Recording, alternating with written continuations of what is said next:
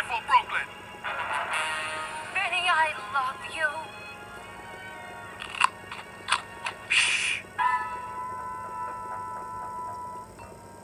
Meh. What's up, Doc?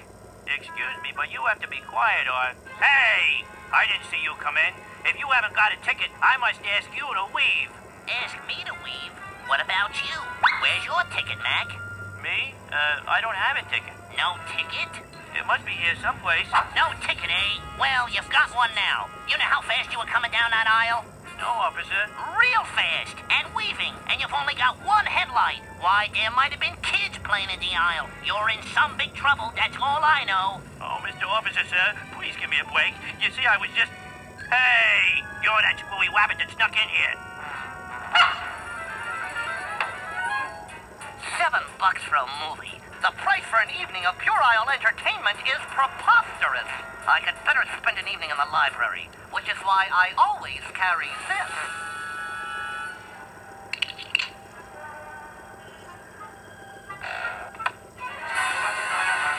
Stick into my theater, will you, you wascally wabbit? Wabbit? Pardon, mon frere, but this is the rabbit you seek. I'm no rabbit. Well, if he's no rabbit, then where are his ears? Yeah, Einstein. If I'm no rabbit, then where am I? Oh, no. Uh-uh. End of discussion. I've come too far. I'm above all that now. But not above sneaking into movie theaters. Yeah, but not above sneak.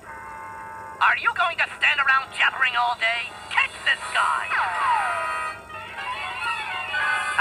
Attaboy, Robespierre! Capture the scoundrel! Let justice prevail!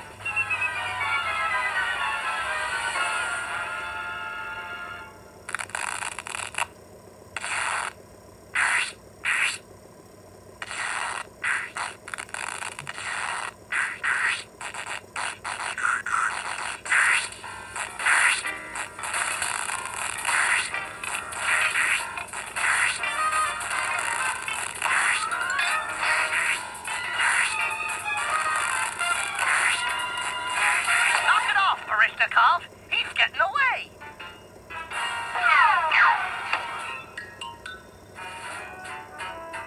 Say, have you seen a wabbit one by here? No, I haven't, Mac. But what can I get you? Well, I am kind of hungry. How about a large popcorn? And a medium soft drink. Would you like genuine artificial imitation butter flavor on your popcorn? Look, my little gluttonous friend. Does anything here appear to be out of the ordinary? You want what, a gumdrops? Let me make it easy for you, Sherlock. This is the rabbit!